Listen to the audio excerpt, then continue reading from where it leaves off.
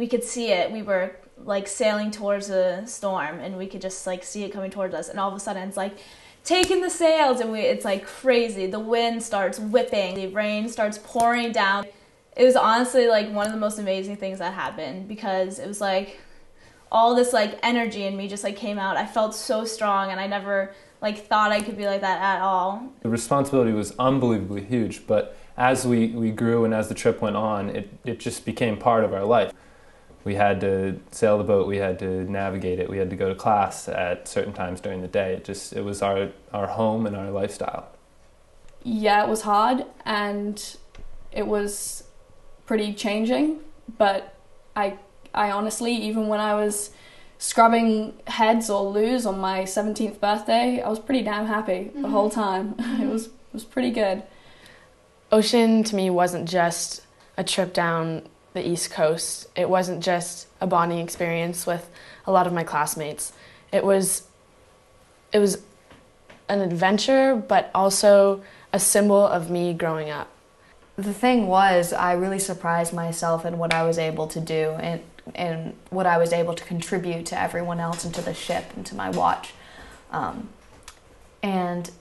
it ended up being an amazing experience, and I loved it so much. I have a better appreciation for the ocean and for my family to let me do this, and like the people who I am around every day, and just I have a better appreciation for life in general.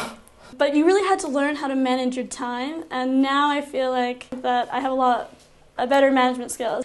And um, with sports, I'm taking self defense now, and I'm not intimidated by the guys, and I feel like I can do anything, and it's just such an awesome feeling.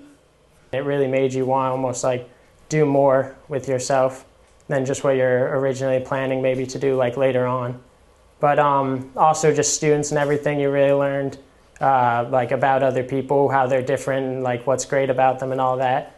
And it really made everyone, I think, just like really tighter, which also helped everyone just change to be a better person, I think. You get a certain respect um, knowing this boat is your world for 60 days and it's your job and all these menial difficult tasks that you end up doing are important and necessary to keep our world our little our little ocean-born world um, afloat. Ocean Classroom is definitely the hardest thing I've ever done.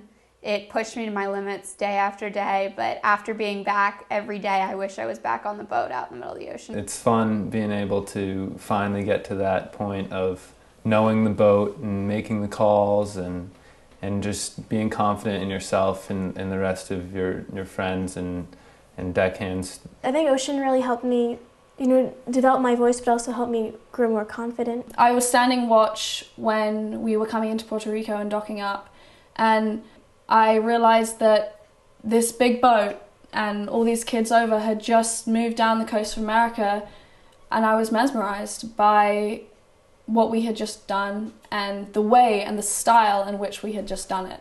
And those moments are the moments that really made me realize why I chose ocean and made me really appreciate that all the hard work and appreciate all the dedication that we'd all gone through.